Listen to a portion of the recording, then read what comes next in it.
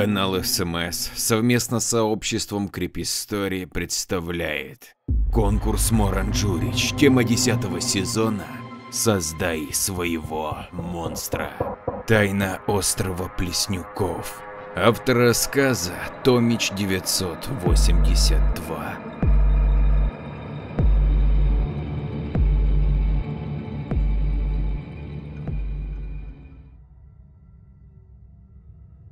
Я пришел на работу, как обычно, вовремя. Не успел войти в кабинет, как сразу же по телефону меня вызвал начальник. С места в карьер начал. В деревне Завялово творятся странные вещи. Там есть остров, и очевидцы сообщили, что на нем есть камни с необычными узорами. Кто их оставил, какие цивилизации, непонятно. Вам придется съездить и прояснить это дело. И так как вы являетесь одним из самых лучших наших специалистов, за неделю такой командировки мы вам заплатим 500 рублей, добавил он. Ваша задача тщательно все задокументировать, сфотографировать, сделать аналитику материалов и выводы. А место-то там ха, почти курорт, улыбнулся он. Заодно и отдохнете. Деньги по тем временам были немалые, да и нужны были, хотелось немного освежить квартиру ремонтом. За них мне пришлось бы работать три месяца. «Э, «Да, хорошо», – согласился я. «А когда приступать?» «Прямо сейчас, Олег, прямо сейчас». Начальник снова стал самим собой, деловитым и расчетливым. «Езжайте завтра, я пришлю машину». Вернувшись домой, я быстро собрал рюкзак. Взял двухместную палатку, а также свою гордость – немецкий фонарь, светивший как прожектор и фотоаппарат «Зенит». Объяснять, куда я собираюсь, мне никому не нужно, потому что, несмотря на свои 43 года, жениться я не успел и жил я один. Внезапно зазвонил телефон. «Алло?» – спросил я. «Да, да, спасибо. Э, когда?» «А, хорошо, Игорь Вениаминович». Положил трубку. Замечательно, подумалось мне. Даже машину пришлют в 6 утра, но почему такая суета, сам бы доехал на рейсовом, непонятно. С такими мыслями я вышел из квартиры, громко хлопнув дверью. «Отдыхать поехал, Олежа?» Спросила соседка по площадке, вечно любопытная баба Даша.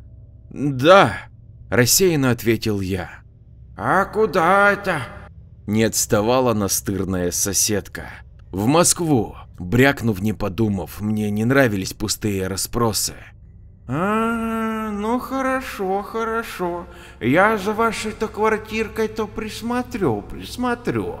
Полупропела, полупроговорила она. Но я уже не слушал, да и не слышал ее. Я уже спускался по лестнице. Чудной какой-то, в Москву едет, а одежда как будто бы за грибами собрался. Задумалась баба Даша. Выйдя из подъезда, я увидел белые «Жигули» четвертой модели, уже поджидающие меня. Я сел в автомобиль, шофер оглянулся. «Ну что, в Завялово?» – весело спросил он. Дорога пролетела быстро, проехали мост над Обью. Суетливый Бердск, особенно запомнившийся коршунами, кружившими над местной свалкой и воронами, свивших свои черные гнезда на голых остовах деревьев. Листвы на них не было и вид был жутковат, ведь за окном было лето.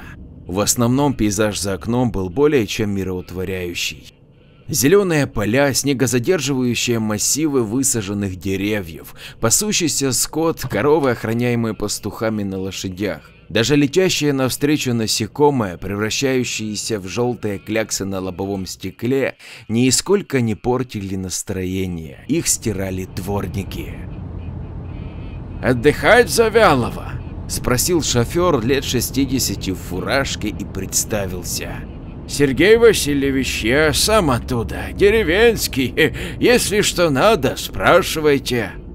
Да я по работе, научный сотрудник. Вот повезло так повезло с водителем, подумал я. А что изучаете-то? Полюбопытствовал он. Лингвистику, и это была правда. Со старожилами решили пообщаться, фольклор пособирать, как Шурик, тосты там, обычаи. Пока не знаю, может найду что-то, что заинтересует институт. О, у нас много интересного происходит, но в основном по ночам. Например, не томите. Есть у нас остров один, напротив базы отдыха вычислительного центра. Там по ночам огни бегают, блуждающие. Вот однажды поехал туда паренек один, наш деревенский, Петрушка, хороший парень, заводила.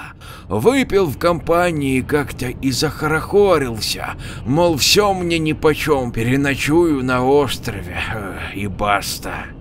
Шофер вздохнул.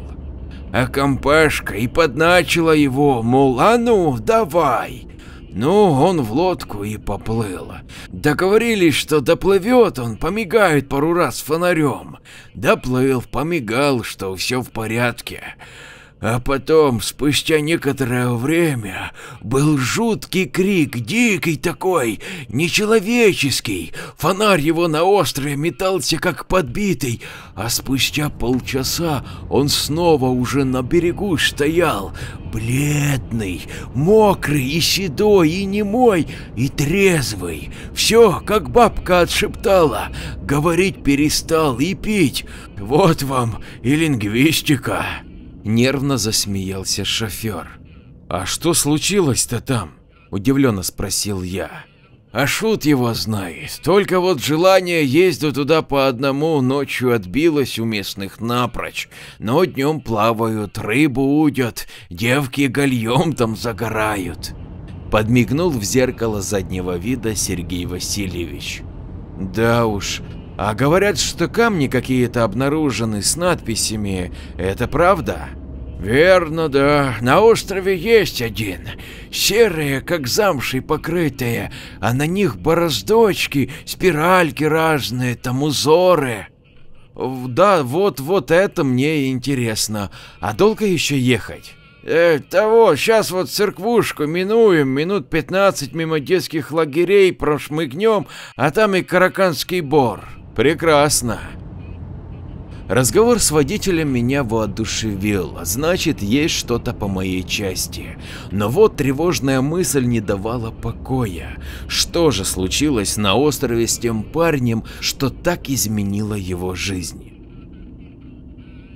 Попетляв среди пахучих сосен по пыльной светло-бежевой проселочной дороге, мы подъехали к железным воротам, которым уже спешил начальник базы отдыха. Было жарко, в 10 утра уже было градусов 25.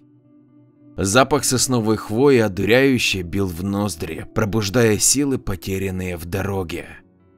Ваш домик второй, матрас и постельное белье уже там, столовая вон там. Начальник махнул рукой в сторону огромной раскидистой сосны, под сенью которой располагался небольшой навес со скамейками. Там собралась большая и шумная компания. Они веселились, смеялись, кто-то играл в карты, кто-то в шахматы, кто-то на гитаре. «А лодки там!» Снова взмахнул в сторону берега. «Завтрак в 9, обед в 13, ужин в 18», добавил начальник базы. Позвольте откланяться, дела. Место было отличное, с видом на море, точнее на реку. На горизонте виднелся остров, на который мне еще предстояло съездить. Домики на базе были дощатые, простенькие, с панцирными кроватями. Сами домики не запирались, замков не было. Я подошел к компании, представился, но на меня особо внимания не обратили. Предложили приходить вечером к костру, сказали, что будет импровизированный концерт. Но концерты меня интересовали мало, мне хотелось взять лодку и скататься на остров. Зайдя в домик, я увидел, что кровать была не заправлена, а на стенке ножиком была нацарапана надпись «0 плюс 0 равно 00». Логично, подумал я повесил сумку фотика через плечо и отправился на бережок. Пахло рекой, рыбой. Лодки стояли на песке. В некоторых были рыбацкие снасти. Я бросил шлепанцы в одну из них впустую, столкнул ее в воду и впрыгнул, замочив обе ноги почти до колен. Вода была не холодная, приятная. До острова я добрался минут за 15, греблось легко, солнце слегка припекало, рыбья чешуя поблескивала на дне лодки. Остров был небольшой, где-то полкилометра в длину и метров 700 в ширину. Для начала я решил оплыть остров вокруг. В северной его части была небольшая заводь с кувшинками. Пристать туда на лодке было бы лучше всего, если бы не парочка. Но течение, преодолеть которое в этом месте требовало бы больших усилий для одного гребца, и мрачные коряги в воде, черные, склизкие, покачивающиеся в волнах. Их вид отбивал все желание маневрировать между ними. Далее к востоку, метров через 200, остров плавно поднимался вверх, образуя обрыв, весь ноздревато испещренный ласточкиными гнездами. Птицы носились стаями, это была их страна, как в мультике «Дюймовочка», подумалось мне. Подплыть туда тоже не представлялось возможности. Упавшие в воду сосны образовали шевелящийся на волнах кордон из стволов и ветвей, трущийся друг об друга. Южная часть острова потихоньку опускалась, образуя к западу длинную песчаную косу острова с небольшим пляжиком. Ощутив легкий толчок, я увидел, что нос уперся в косу, плавно переходящую в берег. Она виднелась на небольшой глубине. Спрыгнув в воду, я ухватился за носовой канат лодки и втащил ее полкорпуса на берег, воткнув металлический кол в песок, чтобы лодку не увело. Все вокруг дышало летом, зноем, стрекотали кузнечики, воздух был пронзителен. Аромат сосен перемешивался с запахом реки и лесных трав. Сам остров был небольшой. С пляжа я прошел вглубь него, там росли сосны, березы. Мне посчастливилось даже набрать горстку земляники, и ароматно похрустывая крохотными косточками, я вышел на Ласточкин обрыв. Встал на колени, протянул руку и накрыл ласточкиную нору. В ладонь мне тут же тукнул клювик, а я аккуратно протолкнул руку в норку и добыл ласточку. Она яростно пыталась вырваться, щипая меня своим клювиком. Я подкинул ее в воздух, и она слилась со своей стаей. Развернувшись, я пошел к заводе. Пришлось пробираться сквозь жестокий камыш, но на удивление преодолев его, я снова попал на месяцеобразный песчаный бережок. Вода была теплая, я разделся и искупался, только одно омрачало купание – дно. Оно почти сразу из песчаного становилось вязким, илистым, поэтому я плавал по поверхности, стараясь его не касаться. Ненавижу это ощущение холодной липкой глины между пальцев. Бррр. Пока плавал, меня точила мысль, где же эти камни, о которых мне говорил начальник и шофер. Я вышел на берег и тут же увидел один из них. Я мог бы поклясться, что никаких камней тут не было перед моим купанием. Подойдя к нему, отметил, что камень небольшой, килограмм на сто. Он был серый, на ощупь как холодная замша, по поверхности шли бороздки, образующие узоры. Один из них был очень похож на шар с иглами и зубами, с острыми зубами. Эти иглы или нити тянулись по всем сторонам, и одна нить как бы пронзала фигурку человека насквозь. Вот это находка! Я достал фотоаппарат и задокументировал камень со всех сторон. На одной из сторон была изображена вся та же фигурка человека, но уже внутри шара с зубами. Больше никаких надписей и иероглифов на камне не было. Я задумался, что же означают эти картинки, поклонение божеству жертвоприношением или какой-то демонический ритуал. От этих мыслей стало как-то не по себе. Я вдруг почувствовал, что очень голоден, что обед пропущен, что пора бы плыть домой. Одевшись, я быстро пошел по направлению к песчаной косе. Выйдя на берег, я не поверил своим глазам. Лодки не было, она как будто испарилась. Вот след на песке от киля, вот место, куда я воткнул фал с якорем-штырем. Никаких следов, лодки не было нигде. Я задумался. Доплыть назад можно, но я не был хорошим пловцом. Можно ждать помощи с реки, вдруг рыбак какой поплывет или судно, можно разжечь костер и ждать помощи, должны же меня хватиться на базе.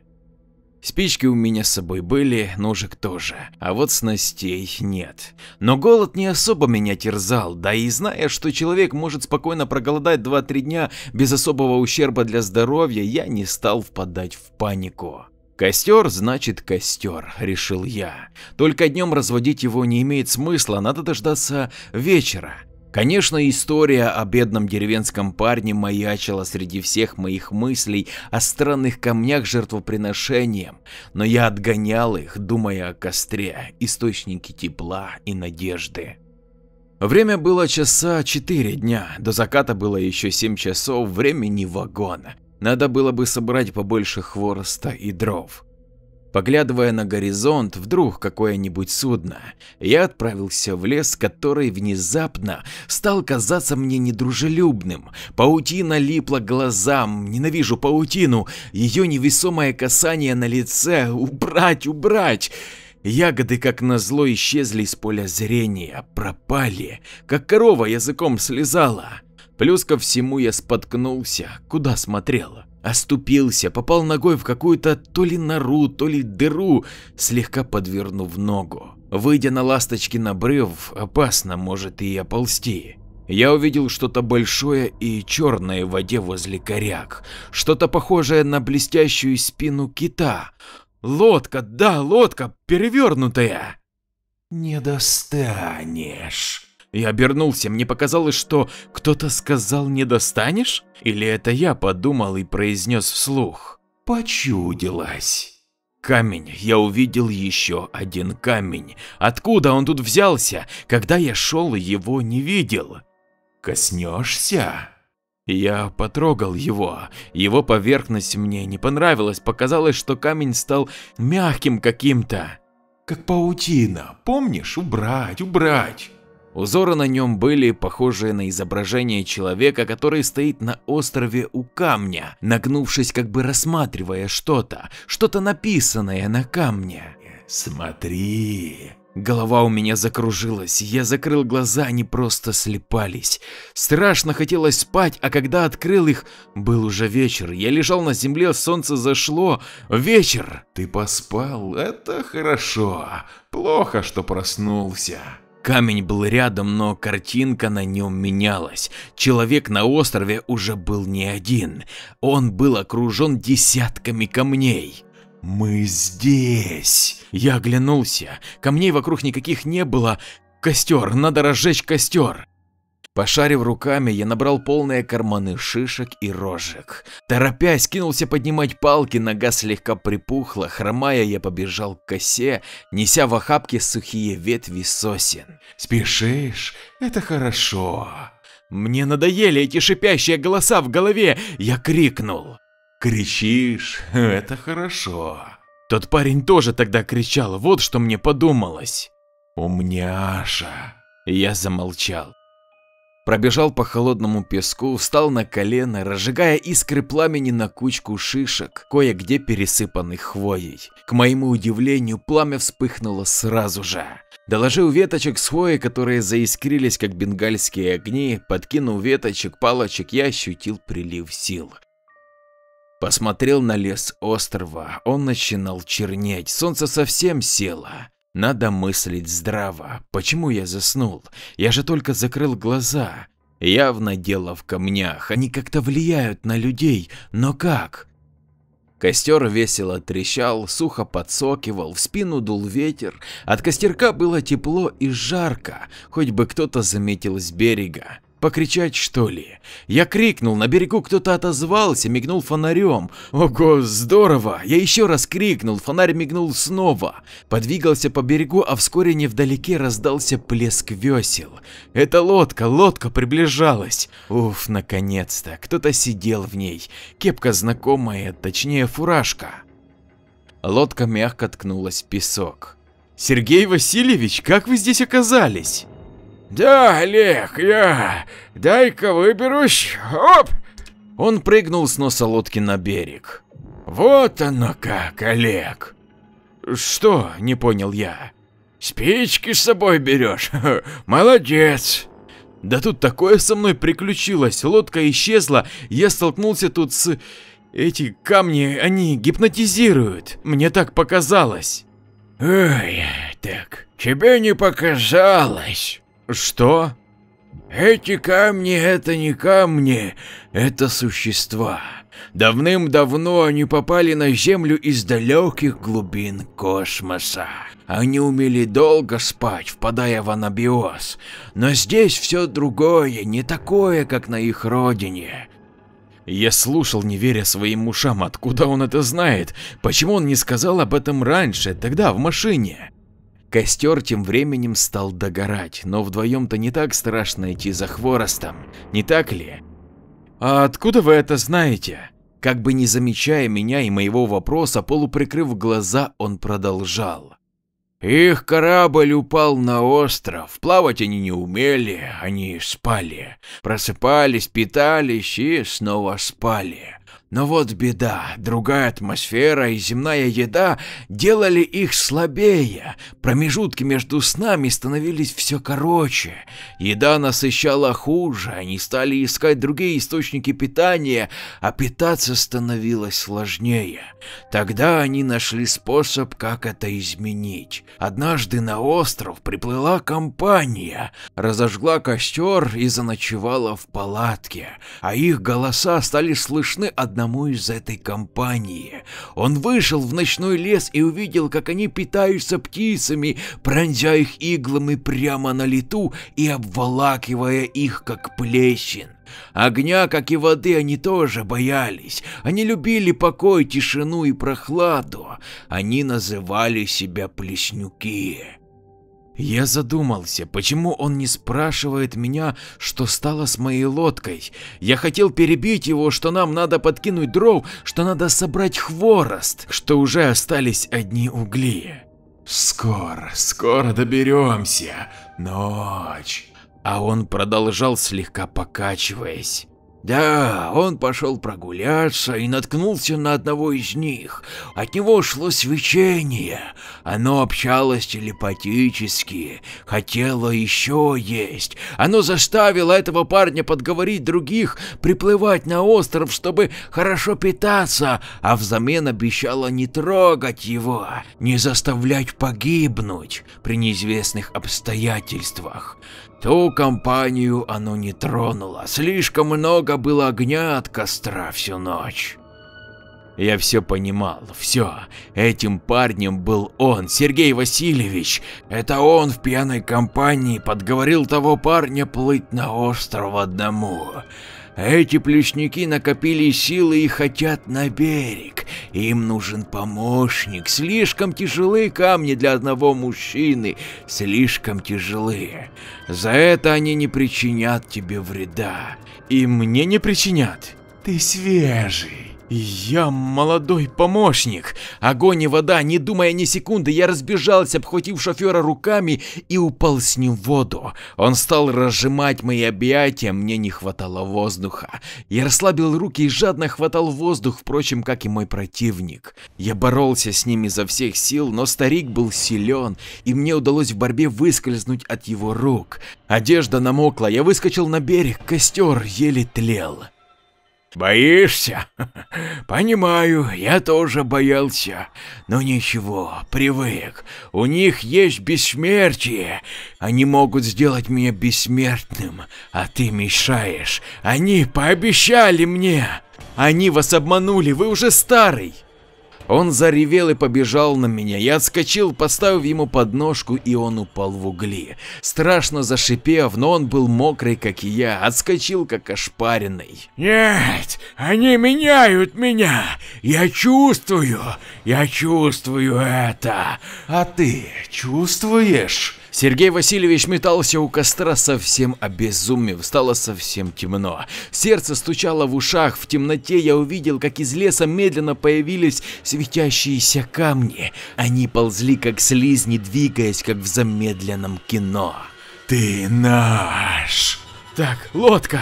Не уйдешь. Я прыгнул в лодку, оттолкнул ее, заметив краем глаза, как плеснюк выкинул острую длинную живую иглу на меня. Но в этот момент метающийся в безумии Сергей перекрыл ей путь, и она вонзилась ему в спину, выйдя в районе груди. Он обмяк и сполз на песок, пока я судорожно дергал весла в уключенных, стараясь отвести лодку от косы и не напороться на нее снова. Последнее, что я увидел, это были бледно-зеленые желтые пятна, которые сгудились над лежащим во тьме Сергеем. Они питались. В полной темноте, подплыв к базе, я толкнул лодку шофера и пошел спать. Справа от меня бренчала гитара, стройный хор голосов пел.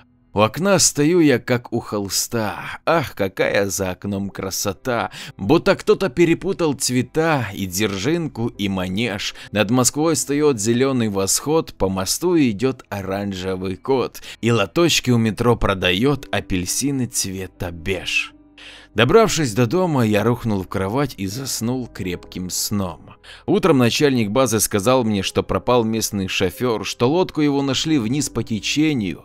Я сказал, что ничего про это не знаю, что я собрал всю нужную мне информацию и он вызвал мне такси, а я вернулся домой в Новосибирск. Начальнику я сказал, что ничего особенного не нашел. Он удивился, но сказал, что пропавший там шофер так и не найден.